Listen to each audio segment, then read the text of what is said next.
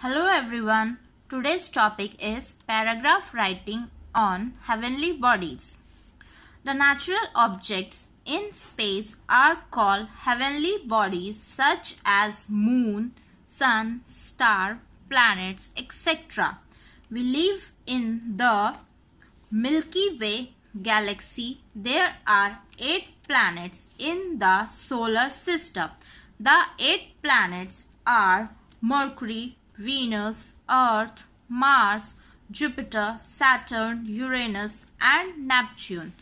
Mercury is the closest planet to the Sun. Venus has no satellite. Earth is called a blue planet. Mars is called a red planet. Jupiter is the largest planet in the solar system. Saturn has beautiful rings.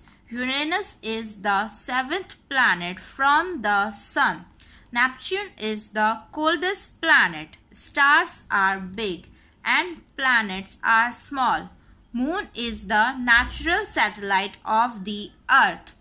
That's all my friends. So like this video, subscribe the channel and press the bell icon and share as much as you can. Thank you so much.